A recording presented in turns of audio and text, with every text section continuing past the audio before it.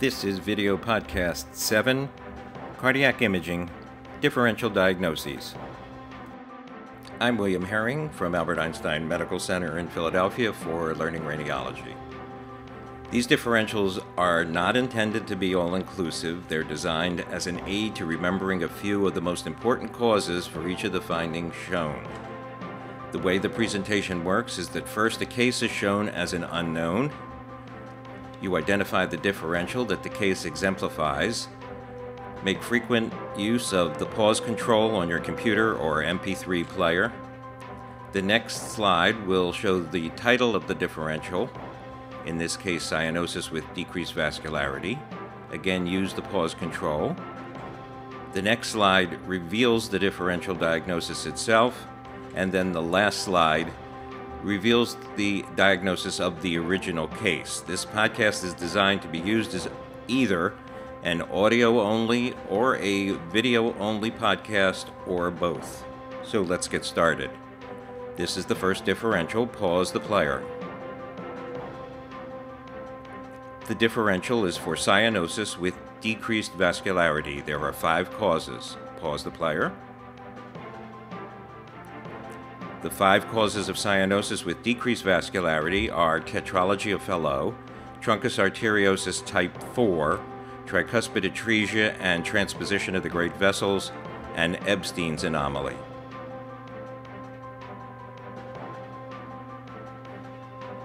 This is the next differential. Pause the player. The differential diagnosis is for cyanosis with increased vascularity. There are five causes. Pause the player.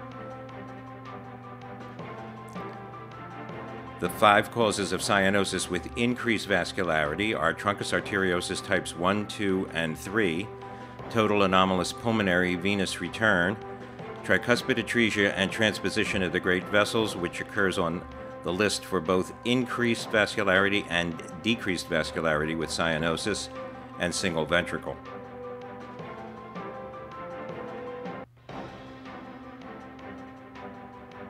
This is the next differential. Pause the player.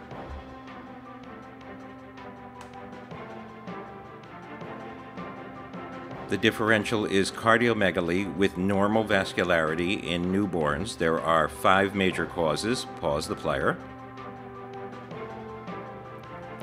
The five major causes of cardiomegaly with normal vascularity in newborns include viral myocarditis, endocardial fibroelastosis, aberrant left coronary artery, cystic medial necrosis, and infant of a diabetic mother.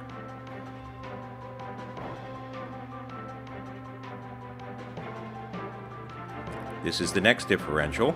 Pause the player.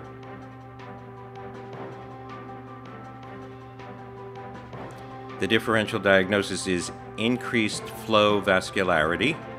There are six major causes. Pause the player.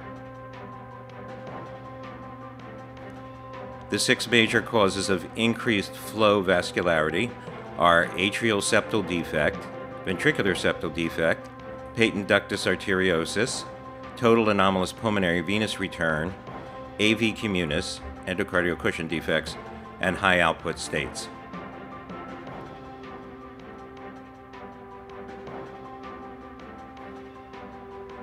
This is the next differential. Pause the player.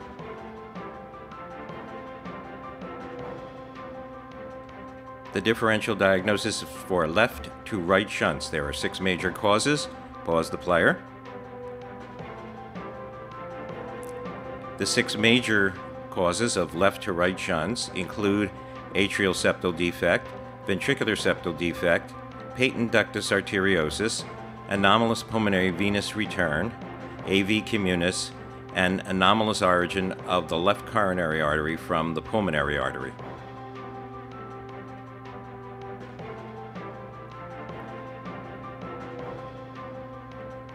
This is the next differential diagnosis. Pause the player.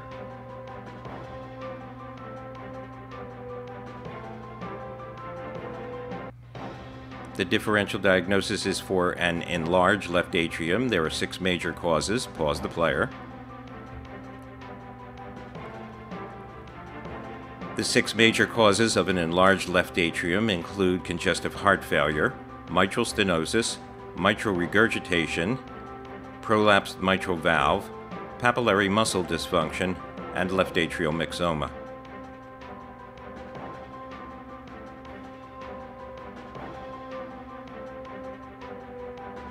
This is the next differential diagnosis. Pause the player.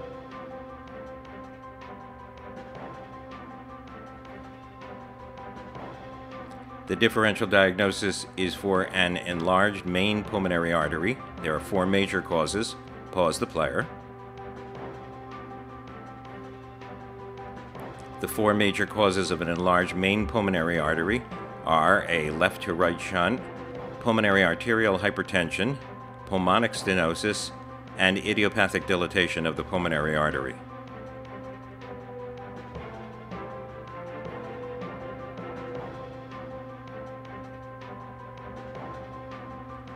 This is the next differential diagnosis. Pause the player.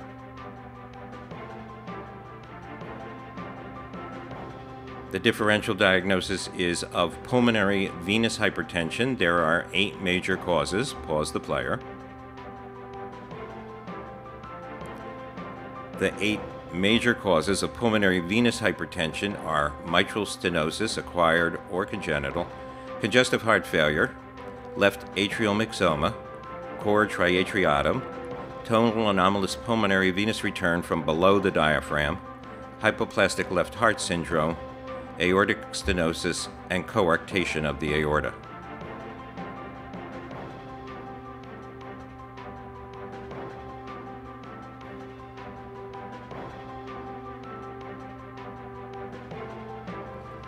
This is the next differential diagnosis. Pause the player.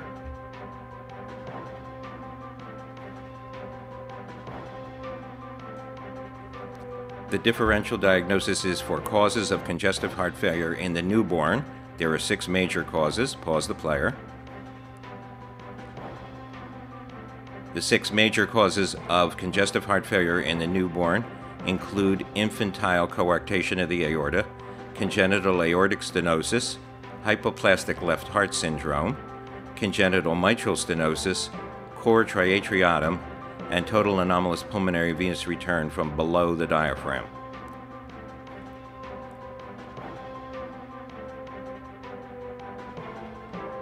This is the next differential diagnosis. Pause the player. The differential is for a markedly enlarged cardiac silhouette. There are three major causes. Pause the player.